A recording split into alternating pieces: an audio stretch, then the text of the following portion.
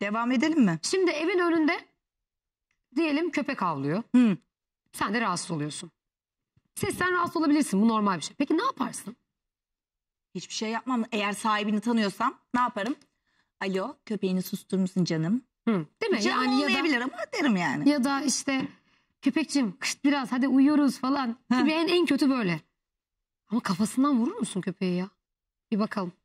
Yani biz bu insanlarla bir arada yaşıyoruz. Düşünebiliyor musunuz? Çoluğumuz, çocuğumuz bu adamı, bu insanı belki tanıyordur. İstanbul Ataşehir'de yaşanıyor. Köpeğin havlama sesinden rahatsız olan bir kişi cebinden çıkardığı silahla, bak cebinden O çıkarıyor bir de. enteresan. Köpeği başından vuruyor. Ağır yaralanan köpek çevrede bulunan vatandaşlar tarafından veterinere götürülüyor. Çok da fazla kan kaybetmiş. E, dengesizlik, koordinasyon bozukluğu varmış. Kafasında da açık bir yarası var.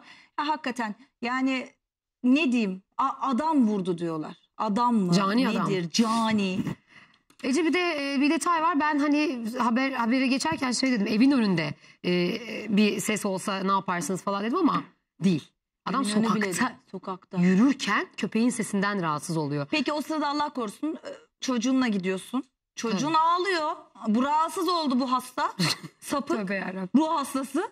Ne yapacak? Çocuğu da mı vuracak? Hayır çocuğuna ne yapar Cebinden benim? silah çıkartma. Cebinden silah çıkart. Sen yani bu nedir ne bileyim işte bir kurabiye mi e, bir işte kulak çubuğu mu cebinden çıkacak ki bunlar bile çıkmaz silah çıkıyor artık insanların Tabii artık cebinden. gerçekten şu, bu kadar kolay Olacak iş ulaşılabilir değil. hale gelmesi. Geçtiğimiz günlerde de söyledik. İnternette artık 300'e 500'e maalesef hani söyleyip de reklam yapmak gibi olmasın ama maalesef satılıyor.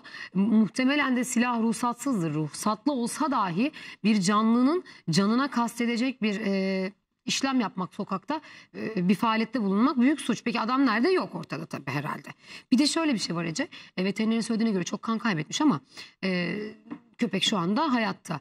Fakat biz o canilerle yaşamaya devam edeceğiz. Devam ediyoruz. İnşallah yani e, kamera vardır vurulduğu yerde bir yerden çıkar yani. Hani görüntüsü çıkar çünkü Yani- bu insanlar bu kadar rahat sokakta gezmesi beni çok rahatsız ediyor yani. Yani inşallah vardır. Geçenlerde bir arkadaşım yemekteyiz dedi ki e, ya biz aslında artık insan insanlar olarak hayvanların o kadar doğal yaşamlarına girdik ki dedi.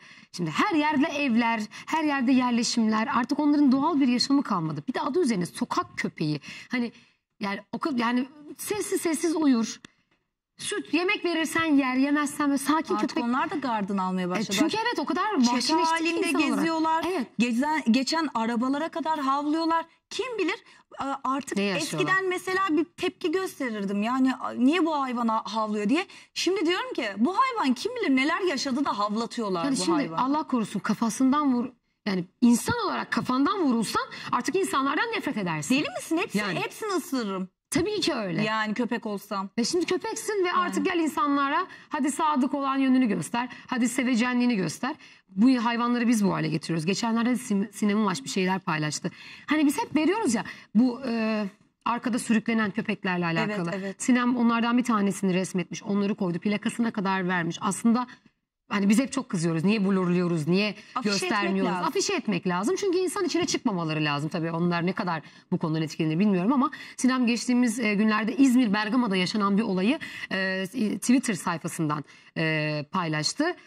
Ve tabii ki bu görüntüler hızla yayıldı. İnfial yaratıldı ama daha önce biz bunları gördük mü? Gördük, yaşadık mı? Yaşadık. Sonrasında ne oldu bilmiyorum. Adam tır ile yetişememiş diyor. Düşün. Arkadaki tır bile yetişememiş bu kadar hızlı. Bakar mısın Ece? Yazıklar olsun. Ay Ya bunu masum bir Ay, hayvana ay çok yapan, kötü. e, ona trafikte laf eden, karşısına istemediği bir şekilde çıkan bir insana neler yapar? İşte biz böyle ruh hastalarının içinde Ay. yaşıyoruz. Böyle ruh hastaları içimizde var oldukça da e, hasta nesil, bunun yetiştirdiği de bir evlat vardır. Yani bu bir babadır yani. Ay biliyor musun? Ee, köpek parçalanmış. Ee, adam da serbestmiş. Evet. Neyse daha yazıklar olsun. Bir şey söylemeyeceğim şimdi. Ben afişe edilmiş halini söyledim. Adam da serbestmiş. Peki.